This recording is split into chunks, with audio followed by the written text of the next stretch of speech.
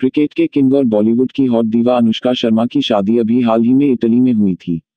दोनों अब हनीमून मनाकर वापस अपने वतन लौट आए हैं। आने के बाद ये रोमांटिक कपल पीएम मोदी से भी मिलने पहुँचे, जहाँ दोनों को पीएम में शादी की शुभकामनाएँ भी दी। आज हम आपको विराट और अनुष्का की लव स्टोरी के बारे में सब कुछ बताने वाले हैं। ये रोमांटिक कपल एक दूसरे का कब हो गया था, इस बात बहुत कम लोग जानते हैं। तो आइए जानते हैं कैसे शुरू हुई थी विरुष्का की लव स्टोरी शैम्पू के विज्ञापन में हुई थी मुलाकात।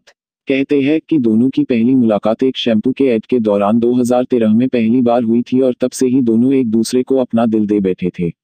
कुछ खबरों के मुताबिक तो विराट और अनुष्का एक दूसरे को बचपन से जानते हैं। शूटिंग सेट पर पहुँचे विराट।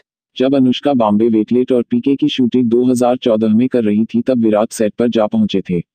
फुटबॉल मैच में साथ। आपको बता दें कि 2014 में ही दोनों एक फुटबॉल मैच में साथ दिखे थे और उसके बाद एक मैच के दौरान विराट ने अनुष्का को फ्लाइंग किस भी दिया था। 2015 में ट्वीट अनुष्का की फ़िल्म इनिच दस को लेकर विराट ने ट्वीट किया था, तब इनका रिश्ता सुर्खियों में आ गया था। हार का कारण अनुष्का। जून 2015 इंडिया ने एक मैच बुरी तरह से हारा था और उस मैच में अनुष्का भी थी। इस पर फैंस ने हार का दोषी अनुष्का को बताया था।